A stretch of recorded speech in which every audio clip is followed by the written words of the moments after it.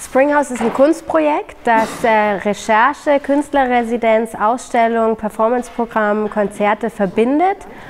Freitag 19 Uhr ist die Vernissage und große Eröffnung von Springhouse in Hellerau. Da geht es richtig los.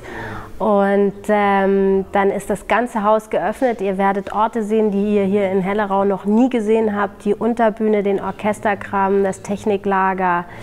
Äh, wir erstrecken uns bis in den Golgi-Park, Westflügel. Büros sind geöffnet. Und das wird wirklich neue Perspektiven auf dieses Haus werfen. Und gleichzeitig gibt es tolle Performances zu sehen. Ihr habt sogar die Möglichkeit, den Geruch des Mondes zu schnuppern.